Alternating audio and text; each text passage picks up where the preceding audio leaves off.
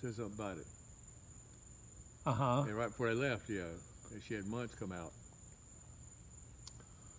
All right, it's 10:14 here. Uh, the rocket just launched about 30 seconds ago. We should see it Should appearing above the next- house. Next minute or so.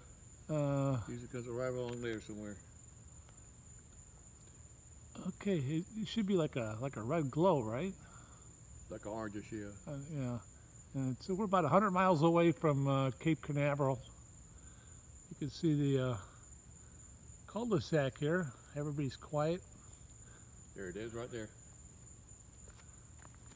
Oh yeah, there we go. Oh yeah, it's like you know, it looks like a red flare up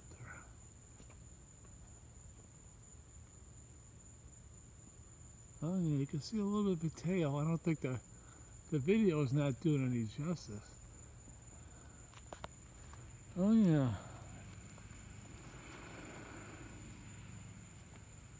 You know, it's going to disappear pretty quick, I think, once it gets up in those clouds. You can see it's already starting to dissipate a little bit. It's even a nice trail right now.